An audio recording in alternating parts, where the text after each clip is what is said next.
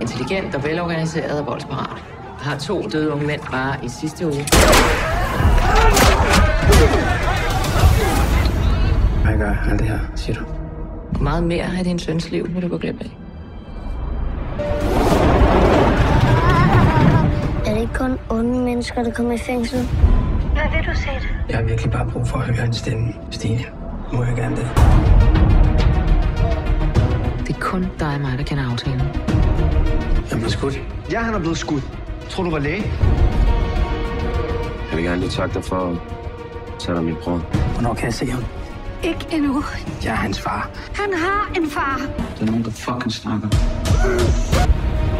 Min dreng spørger mig, om jeg er ond. Lige efter skødet se.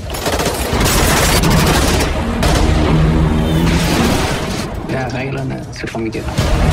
Der var en sød betjent, der dukker op. De snakker om dig. Det er et spil. De har fundet en fucking sender i Modirs bil.